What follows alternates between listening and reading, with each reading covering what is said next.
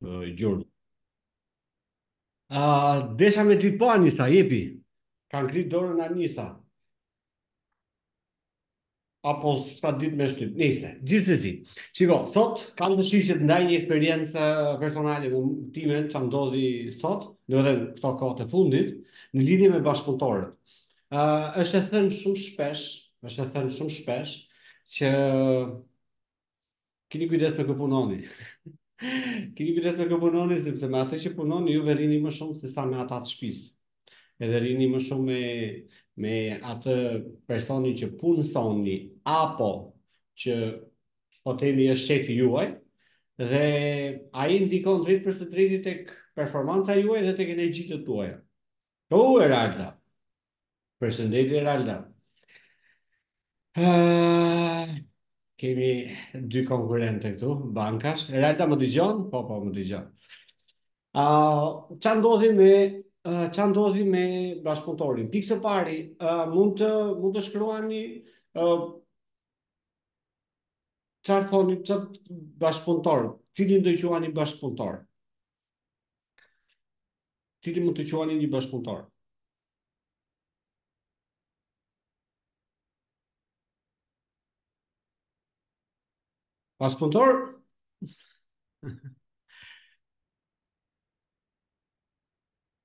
S'keni ide? Nuk keni ide, ok, nuk kemi ide.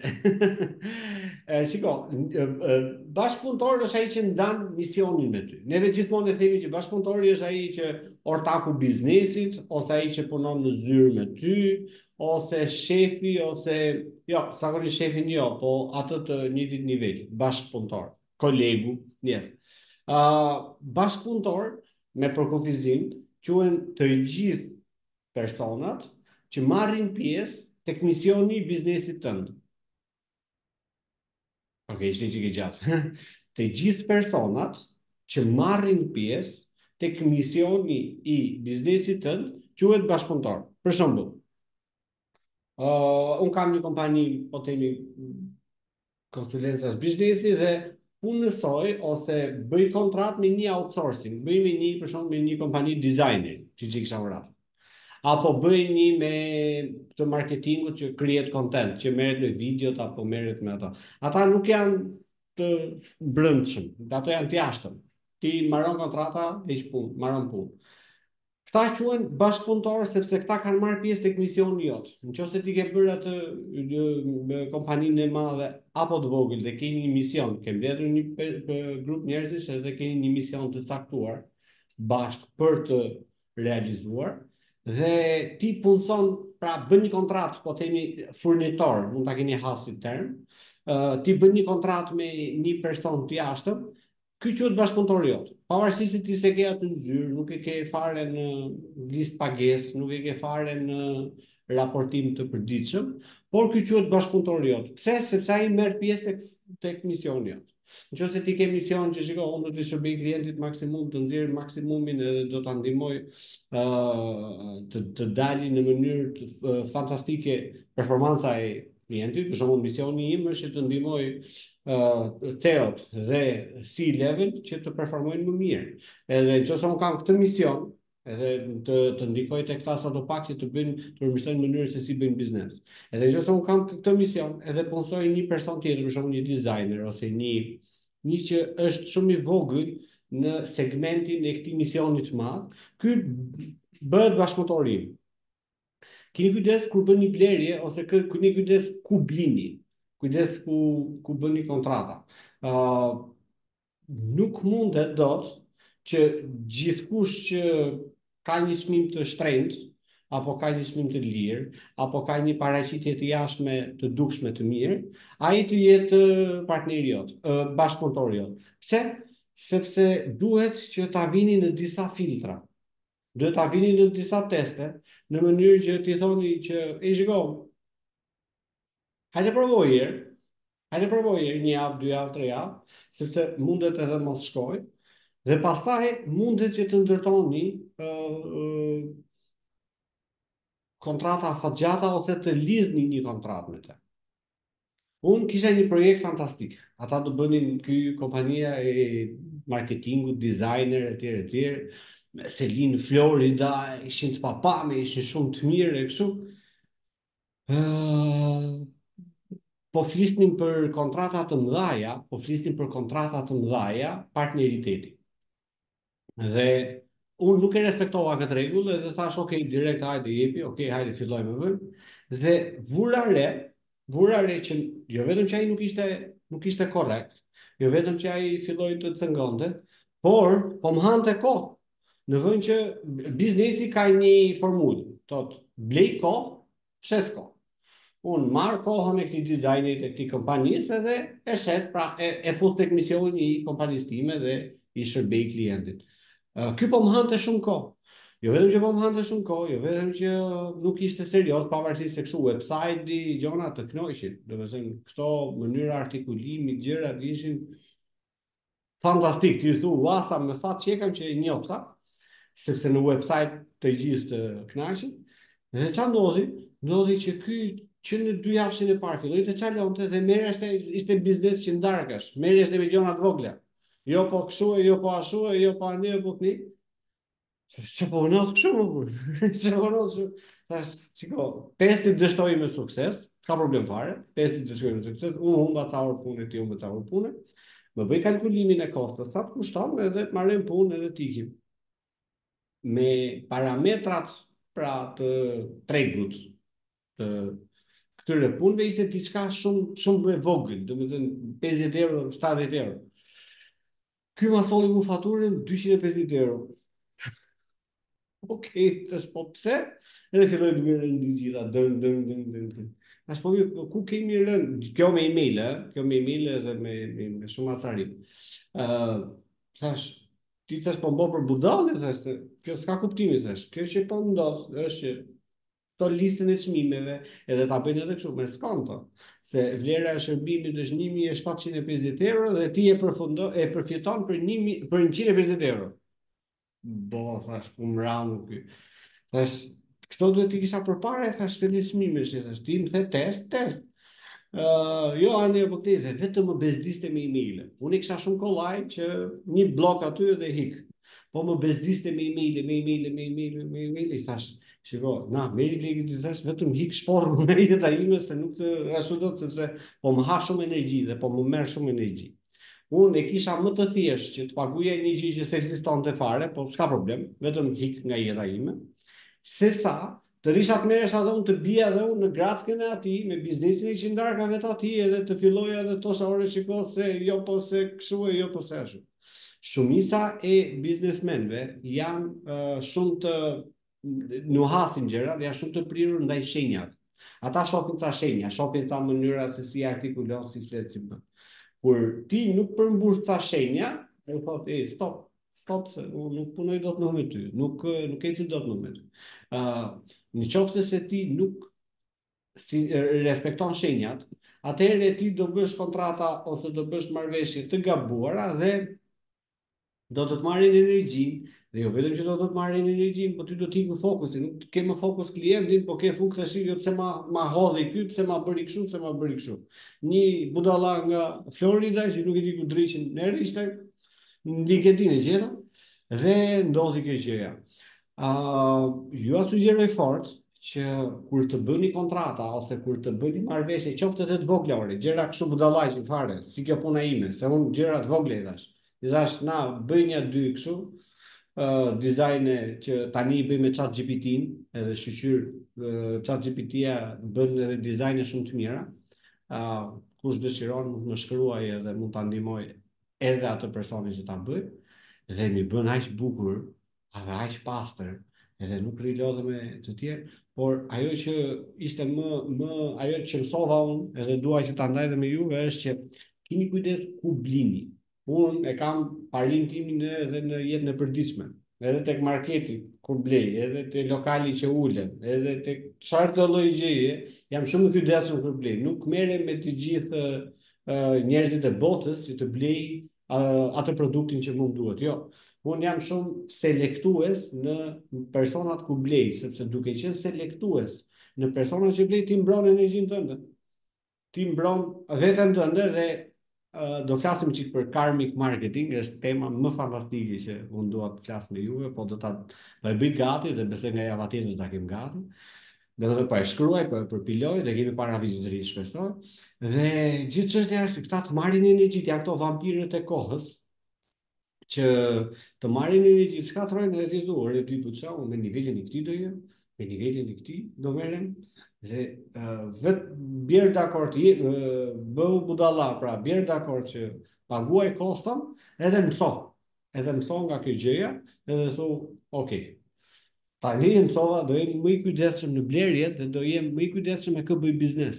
Do thosh ti ça biznesi bëri, i çove nja dy dizajne dhe t'i bëri. Po biznes mo, biznes është, është bashkëpunëtor. Pse? Sepse ai mori pjesë tek misioni i biznesit tim.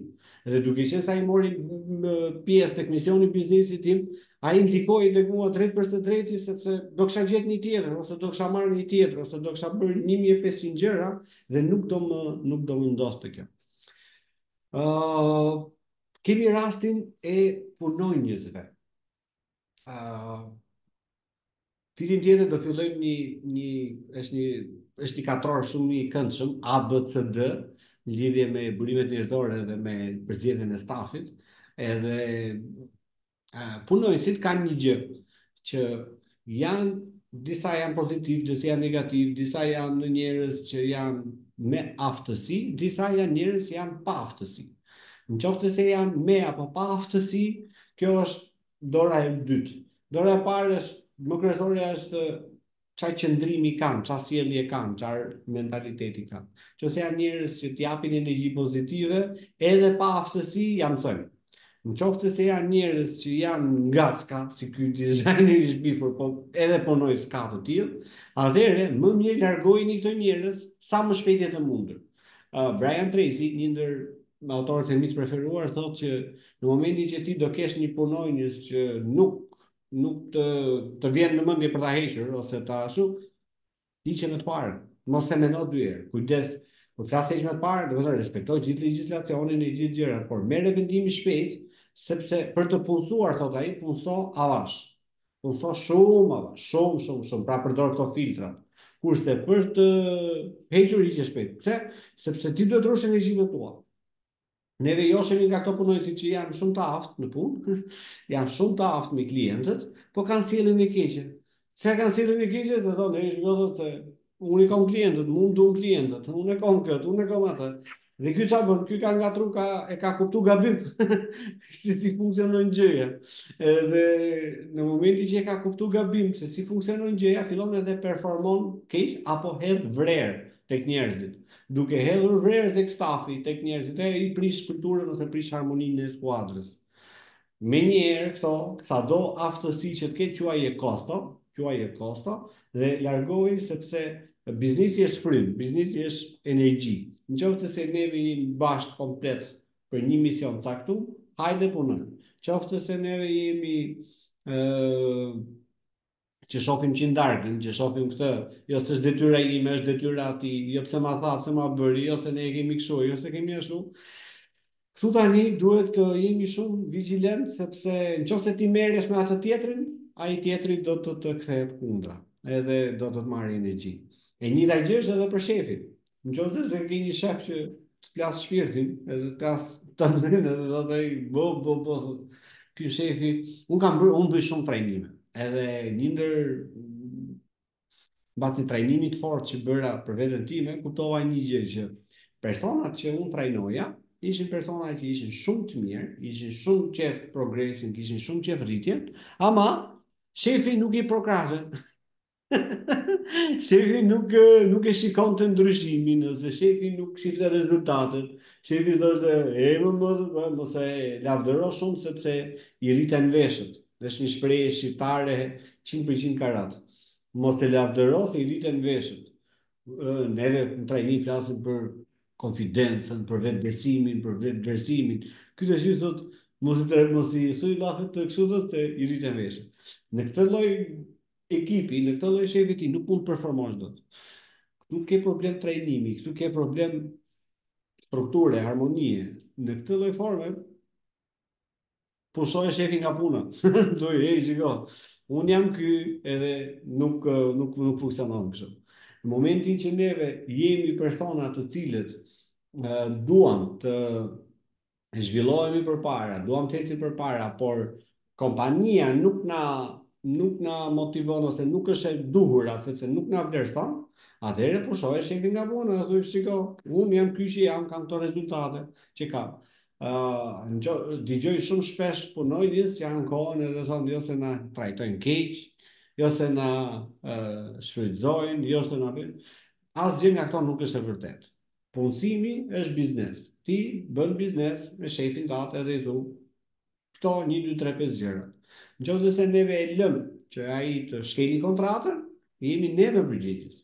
Në qoftë se neve nuk e lëmë të na shkeli kontratën, atëherë atë e bëjmë të ndërgjegjshëm se me kë po bën biznes edhe me kë po flet. Uh, kam, kam njohur shumë persona të cilët janë performues shumë të mirë në shitje ose në administrim, në, në drejtim, ceo, ceo të fort, ceo shumë të fort, ceo shumë të mirë.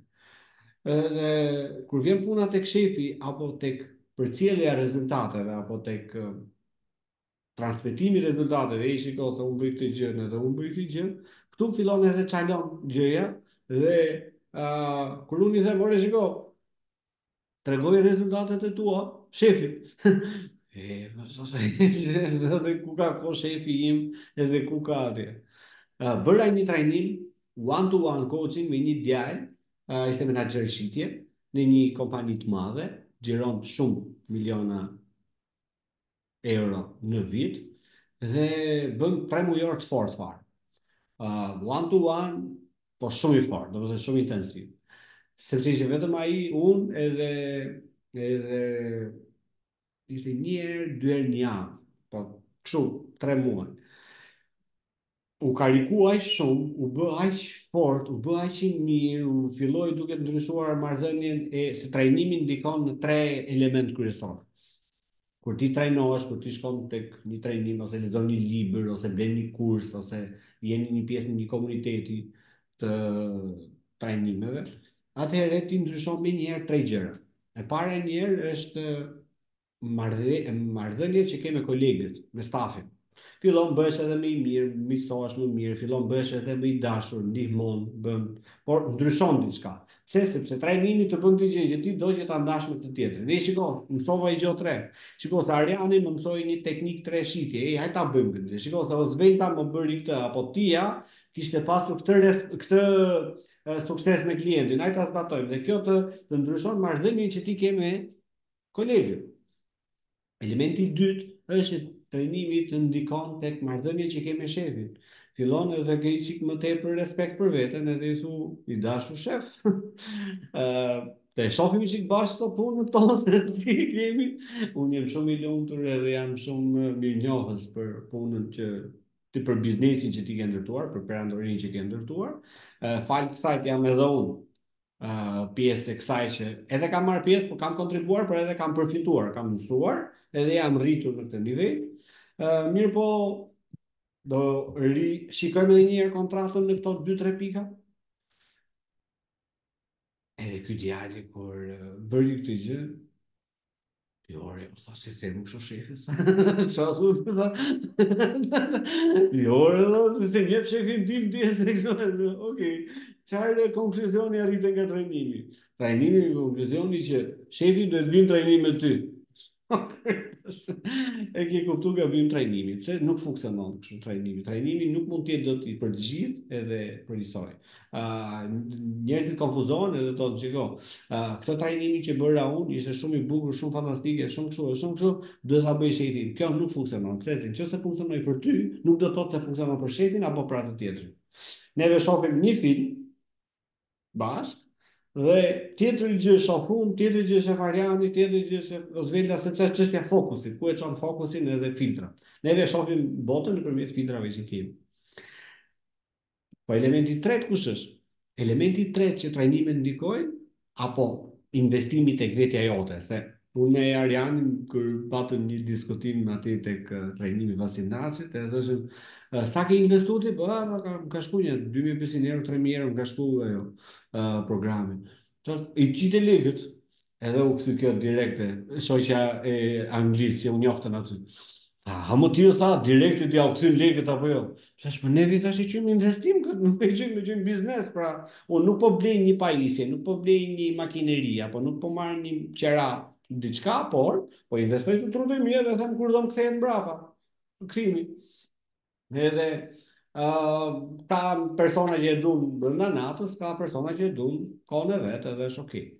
Dhe në marrëdhënien me investimin e vetes, ti ke tre pra tre tre pika referimi, marrëdhënia me kolegët, marrëdhënia me shefin, dhe i treti është marrëdhënia me klientët. Marrëdhënia me klientët ti fillon edhe imponon më shumë respekt. Ti fillon imponon më shumë ë dashuri, re, e, e, seriozitet. Çfarë do të thotë me këtë seriozitet?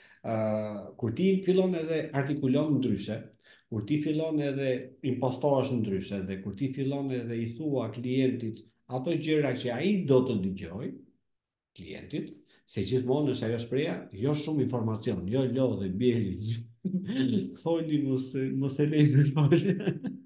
Siç kishim thënë ne Ozvel ta, tek ato trajnimet tona.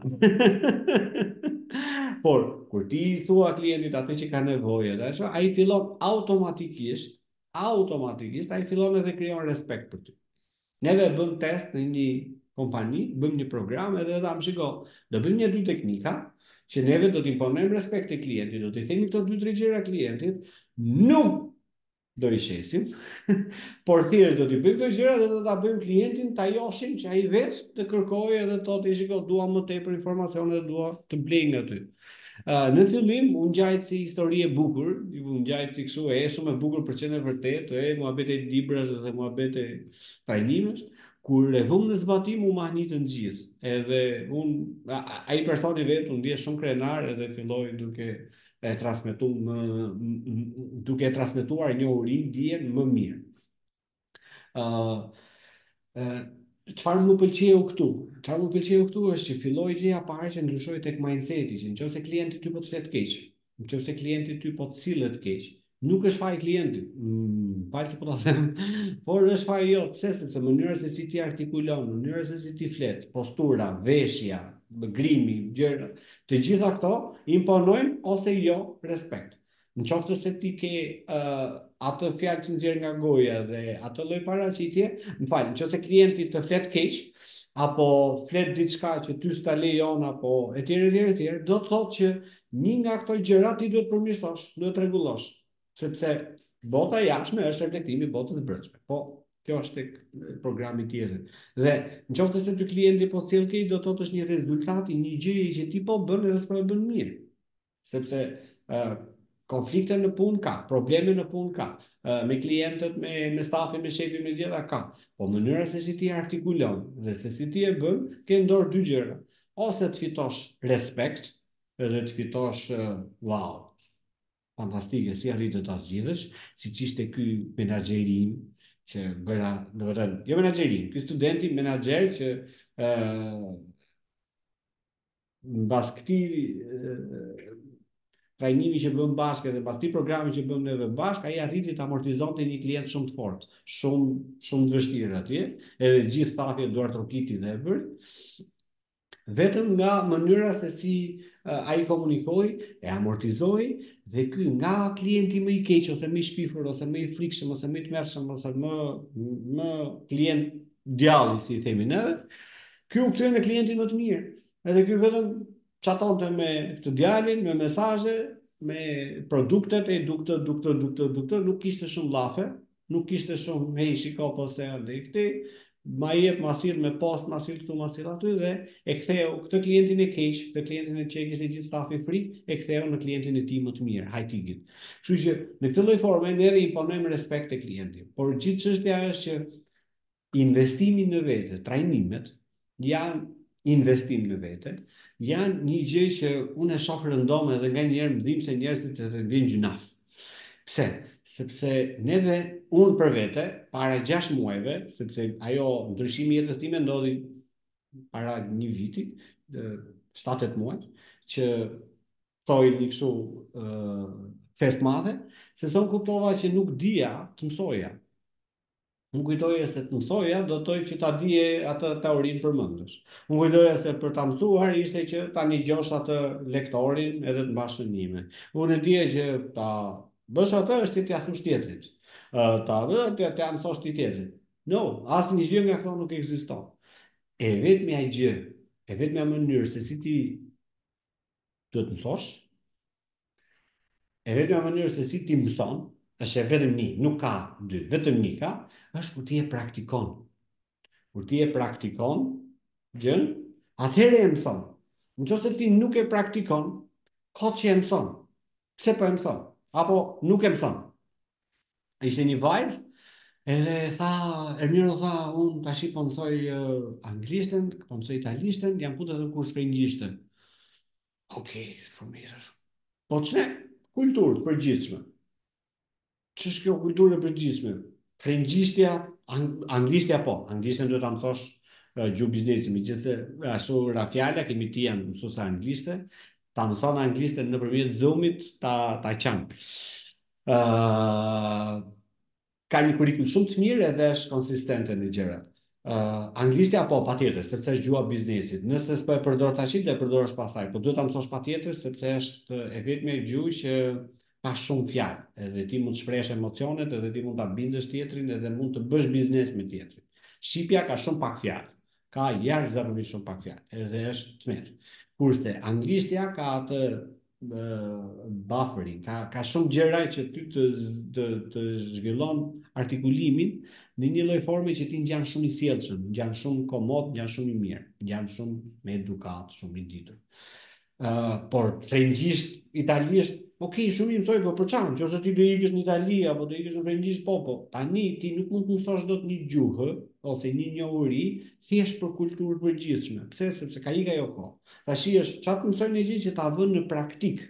Ta vënë në praktikë sepse është e vetmja mënyrë se si unë mësoj dhe duke e vënë në praktikë unë kam kthim nga investimi. Te investimi. Në qoftë se unë tani jam tek biznesi, po themi te konferencat e biznesit apo që merrem me ekipet dhe me C-level. Unë tash të mësoj arkitekturën për qejf, për kulturë. Ça më duhet? Qoftë se unë s'do ta përdor në një arkitekturën, qoftë se s'do ndërtoj një gradaçelë, një pallat, nuk nuk më duhet, unë nuk kam pse mësoj, unë mësoj më shumë këtë, që di të bëj më mirë, këtu shkoj akoma më thellë. Edhe gjithë qëllimi i trajnimeve ose i investimit tek vetja është që nuk ka rëndësi fare se çfarë ti bën. Mund të jesh mësues anglishte, mund të jesh punonjës banke, mund të jesh closer, mund të jesh konsulent biznesi, mund të jesh çfarëdo lloj gjëje, everything, por bëhu më i mirë në fushën tënde. Bëhu autoritet në fushën tënde dhe e vetmja gjë që bëhet në fushën tënde është kur ti futesh thellë. Dhe aty bëhet edhe argëtuese, imponon ti respekt apo autoritet edhe ti paguhesh më mirë. Në gjuhën angleze ka një shprehje që më pëlqen shumë, high income skill. Në qoftë se ti nuk ke, ke problem lekësh, nuk është se ke problem lekësh, po ke problemin që nuk ke një aftësi që është high income. Për shembull, doktorët. Ka një doktor që thotë s'kam lek apo ndonjë pilot avioni s'kam lek. Pse? Sepse janë profesione high income. skill, edhe janë aftësi shumë të mira. Qoftë se do të bëhesh ok, por unë do thoja që aty ku ti je, në këtë moment, në këtë kohë që ti je tani, që ke investuar tani, aty bëhu më i mirë sepse nuk ka kohë që ti të ikësh tash të eksperimentosh te tjetra, te tjetra, te tjetra. Një parim që unë kam është që ruhu ki kujdes nga shiny object. Shiny object janë ato objektet e shndritshme. Gjithmonë ai bari i komshiut është gjithmonë më jeshil se joti, edhe e shiko se o Zvelta e ka punën shumë të mirë, e ti të bësh si o Zvelta, apo ti e ka punën shumë të mirë apo Arjani. No, aty ku je, në atë pozicion pune që je, në atë kompani që ke, është shumë e rëndësishme kjo për mua ta them, në atë kompani që ke, ti bëhu më i miri. Impono respekt edhe bëhu më i miri. Pse e them në atë kompani? Po, sigurisht se ti më the mu pushoje shefin nga puna, tashi po më thu kompani. Ë, jepi mundësi shefit. Pra jepi, më fal, jepi mundësi vetes që të negociosh. Ki parasysh një gjë që shefi pranon apo jo, është biznesi i vet, por ti nuk je më i mençur se shefi. Pse? Sado libra trajnime të kesh bërë. Pse? Sepse shefi e ka me rezultate. Rezultatet flasin. rezultatet janë ato të cilat janë të dukshme, edhe janë të prekshme, edhe janë të matshme. Ti, në qoftë se të pëlqen të bësh biznes, vazhdo, qoftë se jo, kujdes, ndahu mirë, ndahu njerëzisht, ndahu si, si gentleman, si, si person i trajnuar, pra si person elokuent, por mos u zi asnjëherë, thjesht quaj biznes, më pëlqen apo nuk më pëlqen të bëj biznes me ty, për 1500 e, për 2500 arsye, por, por, por, unë nuk kam pse e paragjykoj shefin se s'e pëlqen rrogën time, apo shefi t'më paragjykojë mu se s'e kam unë shok atë rrogën time. No, na jesën biznesi, e bëjmë, së na jesën biznesi, na lëmë, nuk e jesën, se se se se. Ama, shumë e rëndësishme, është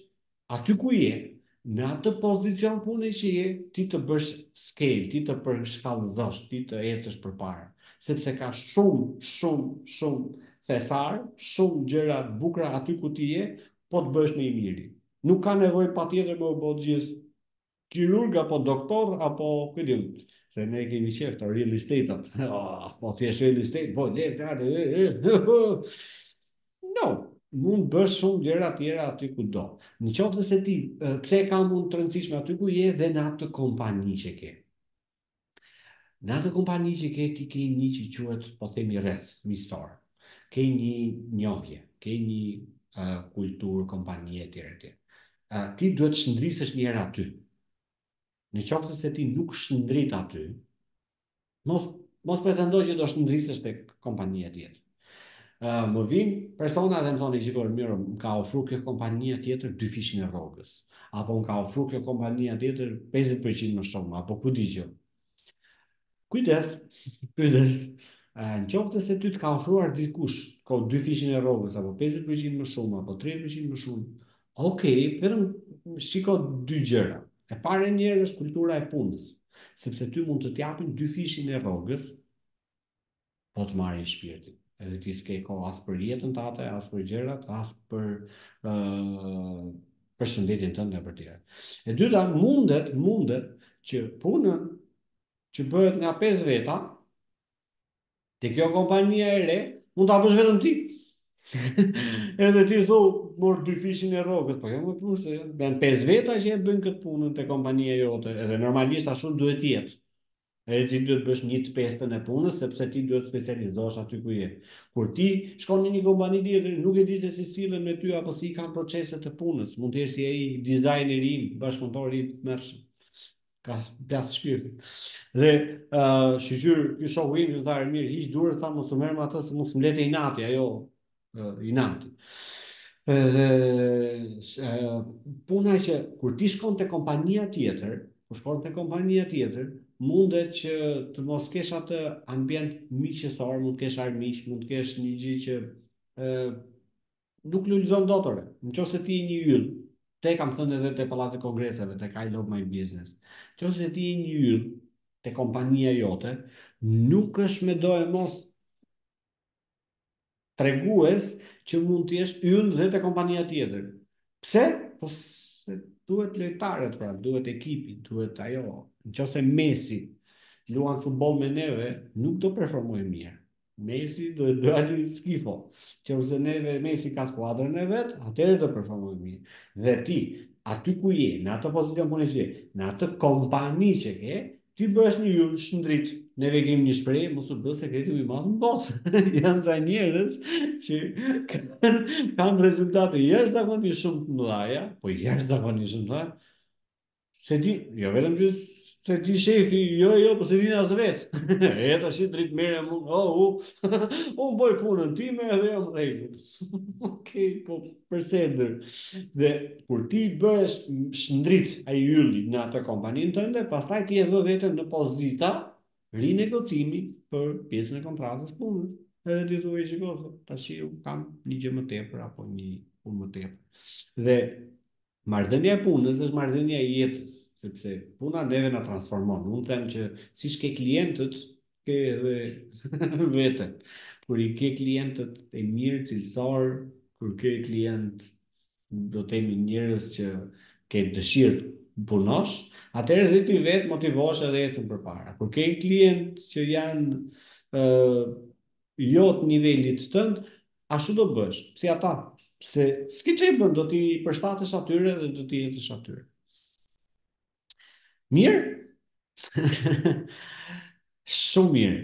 A nuk e di, kemi ndonjë pytje, janë njëmbëdhjetë veta këtu, kolegu, ok.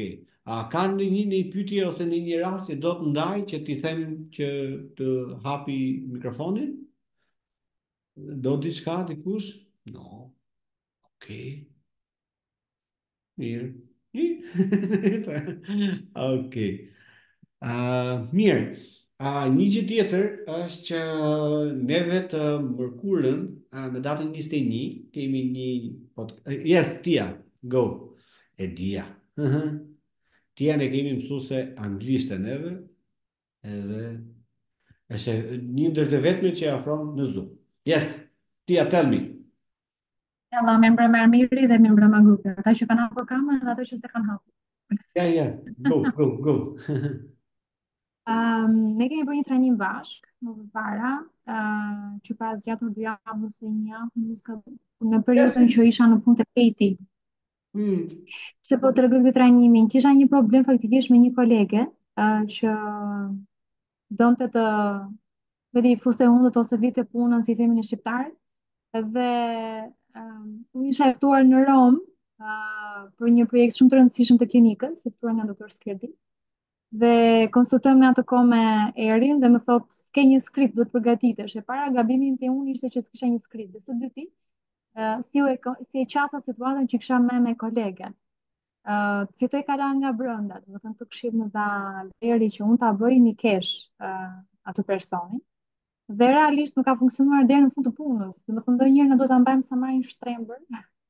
Dhe unë këtë bëra dhe fitova edhe një paqe me veten time sepse të streson kur dikush uh, të vjedh punën dhe meritat, kështu që këtë gjë mbaj nga trajnimi që kemi bërë bashkë. Dhe realisht ka qenë shumë i vlefshëm dhe më ka shërbyer dhe më ka shërbyer edhe në situata të tjera me punë të tjera, kështu që është shumë që zaharoj kur.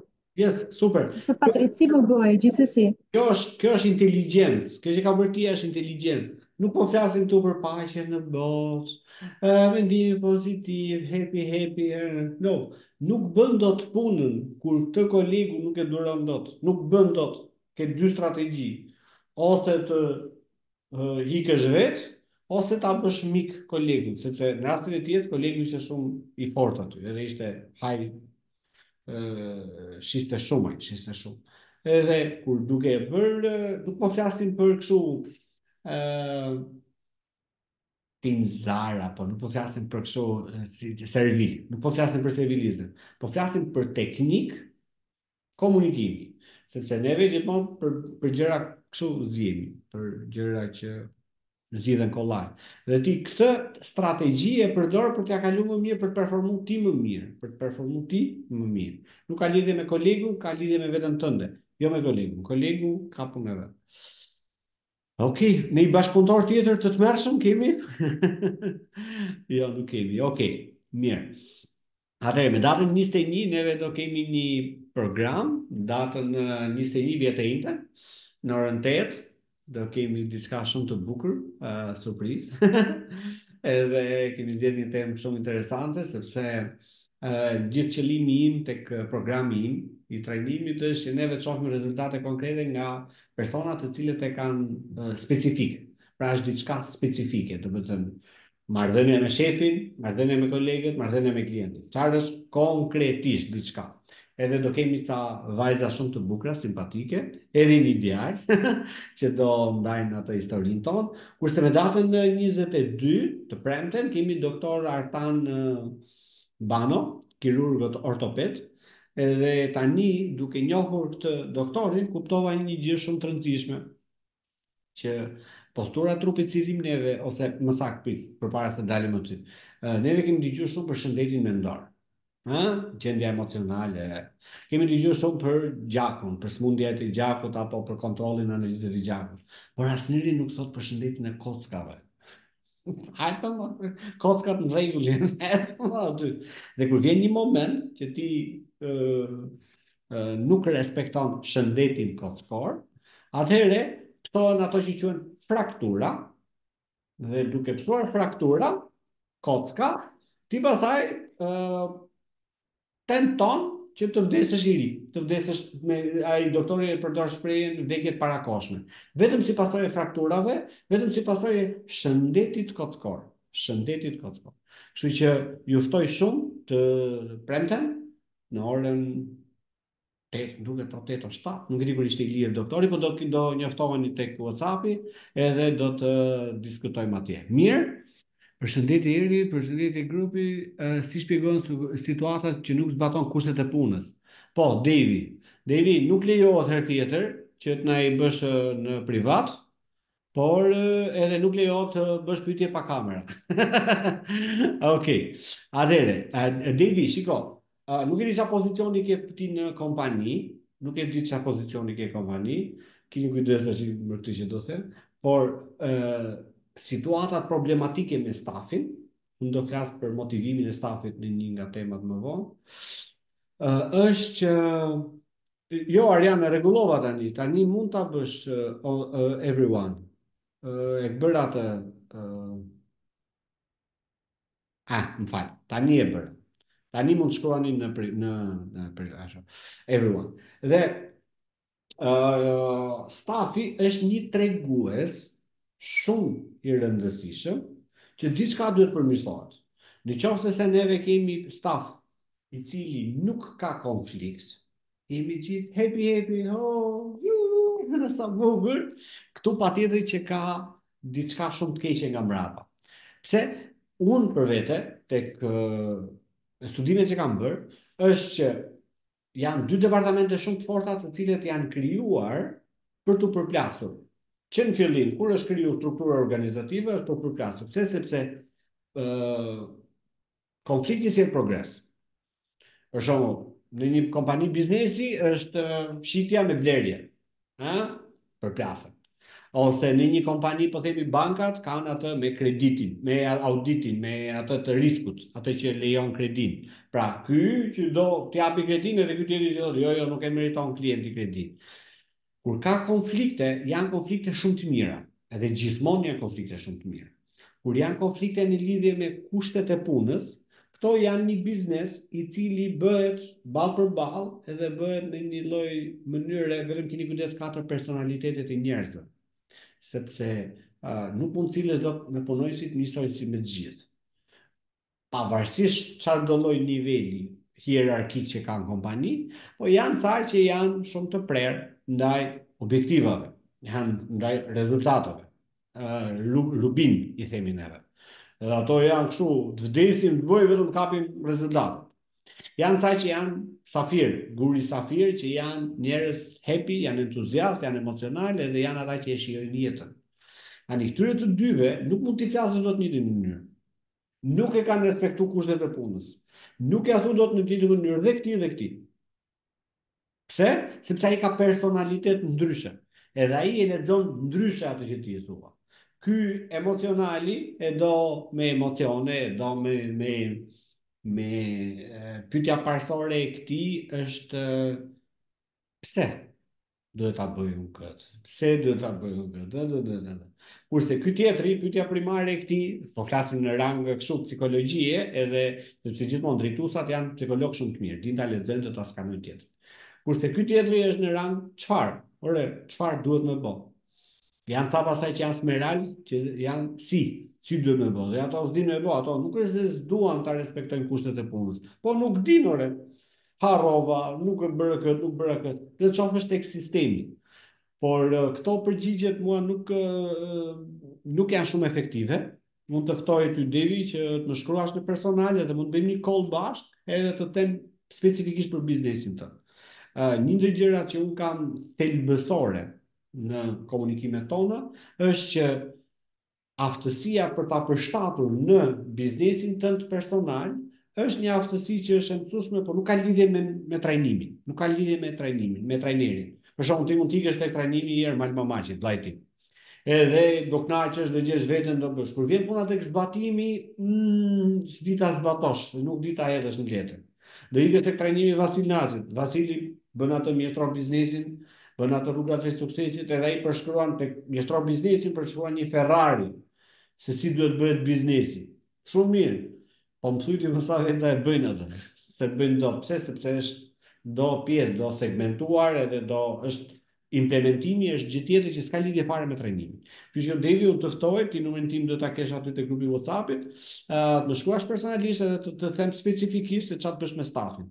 Po ki parasysh që është lajm i mirë që ke konflikt, edhe lajmi i dytë është një tregues që duhet të ndryshosh ca gjëra. Kompanitë janë të prirura drejt yllit. Shyqyr që kam këtë shitësin e mirë, apo këtë drejtorin e mirë, edhe shyqyr se, o zot, me m'ik ky, u fikam. Bam ikën ky. Ui, si më iku ky. Pse, sepse nuk e mbështesin në sistem, nuk e mbështesin në strukturë, po e mbështesin në individ. Për po individin sot e ke, nesër s'e ke. Jo se është njeri i keq apo është njeri i mirë. Por, kur flasim për biznes, flasim për premtim klientëve. Tash ai klienti që ti i ke premtu atë keni bërë kontratën edhe ke marrë përsipër atë risk, atë angazhimin që do t'i shërbesh klientit, ai nuk do me dit a të ka ik drejtori apo jo. Apo a ke drejtor apo s'ke drejtor, apo ky i miri si u solle apo si u bëre. Ai do që ti t'i mbash fjalën dhe biznesi është sistem mbajtje premtimesh. Unë do mbaj premtimin, të thashë ta premtova këtë do bëj, nuk e di se si do e bëj, do i bëj të gjitha ato, po do ta bëj këtë punë. Dhe në këtë lloj forme ti nuk duhet t'i besosh individit, po duhet t'i besosh numrave apo sistemit. uh, idealja, idealja se shumica, kjo është temë shumë e fortë për CEOt, edhe për themeluesit e biznesit, që s'kam staf, s'kam staf, idealja është që për një pozicion pune që ti ke, mo, uh, mos merr një, do thush ti është e shtrenjtë që të marr dy veta për një. Okej, okay, po të paktën ë uh, ë mos e lërë që një person të bëjë gjithë procesin. Gjithë procesin ta bëjnë 3, 4, 5, 2, 3. Po jo një. Pse? Sepse po ra një të bie procesi. Kurse në qoftë se janë 5 veta, të ikën njëri të paktën këto 4 të tjerët mund të ta mbajnë. Të ikin dy, këto tre të tjerë ta mbajnë. Por një je komplet amatorizëm. Edhe njerëzit thonë, "Ju shiko, të motivohen se jap me rrogë, me rrogë, me rrogë." Rroga ka një kuptim. Pastaj nuk ka më kuptim. Pse? Sepse janë ca gjëra tjera që vlerësohen më shumë se sa rroga, që do flas në një ditë tjetër. Okej, uroj që të të kem përgjigjur sadopak. uh, Devi. Nuk e di, Arjan, ke diçka? No, no, është okay. Mirë. Ë uh, Faleminderit Adi, ok, jemi pritur, jemi pritur. A nuk e di këtë Xho e desha me fol i çik. Xho, ke dëshirë të flasësh diçka se e di që bën ca gjëra të bukura ti. Ë? Po njoh nga veshja nga nga nga kapelja. Më thuj ça bën, me ça merresh? Ne njifemi, po ti m'ke harruar domethënë. Shiko, kemi bërë një foto me vllain tim edhe në Kosovë, ë më tha dhe Denisa për këtë, po Nuk e bëj dot lidhjen e figurës me atë, më fal për këtë.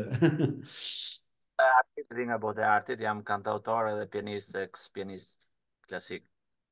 Më tej jam futur bizneseve të ndryshme që nga trenat e ajrit, energjia e erërave, sipër në atmosferë, e tjera, e tjera. Domethënë, kam hyrë edhe unë tashti, kam futur që më që të drejtojmë edhe bizneseve shqiptare për t'i orientuar në disa gjëra që mund të jenë edhe për Shqipërinë. Bravo. Uh, mos bëni biznes si artistët. Xho është artist. artistët janë artista. Drejtim, po me, me bizneset e tjera kam rritur, kam në, në Skyway, kam mbi 1200 partner në biznes. Si mund të ndihmojmë tek misioni jot? Çka ke nevojë që mund të bëjmë diçka tek misioni jot? Çfarë mund të bëjmë diçka? Në misionin tim është që të njoh Shqipërinë me ato 3-4 biznese që mund të jenë interesante edhe për Shqipërinë. Përveç asaj të fundit që edhe filluam bashkëpunimin me Denisën, që është inteligjenca artificiale në bashkëpunim me ekonominë reale, si mund të ndihmojë ekonominë reale për t'u shumëfishuar, për të jo vetëm ekonominë reale, por edhe ata që janë që merren me rrjet, për shembull, mentorët apo gjërat e tjera që mund të rrisin numrin e atyre që i ndjekin, mund të rrisin numrin e e të ardhurave për bizneset nëpërmjet inteligjencës artificiale, nëpërmjet chat GPT, më, më tepër sesa GPT, se GPT është një çikë i limituar, po... Mm, uh -huh. Ok, pani, super. Dhe më dhe... A, ka diçka konkrete që mund të bëjmë për ty, apo do mbetet në vazhdim? ky është takimi i parë i imi që, që mora pjesë sonte. Mm -hmm. E më duhet ta mpreh lapsin një çik më shumë përpara se të filloj të bëj... Yes, yes. është ajo që quhet uh, elevator pitch. Si të flasësh për 6, më pak se 16 fjalë, që ai tjetri që s'e kupton fare se çfarë bën ta kuptojë. Yes, shumë mirë, mund të mund të punojmë edhe për këtë. Mirë, Ju falenderoj shumë, do kisha shumë dëshirë të rrinim, po e di që koha juaj është e limituar edhe shifemi në takimet e radhës. Ju përshëndes, mirupafshim. Ciao.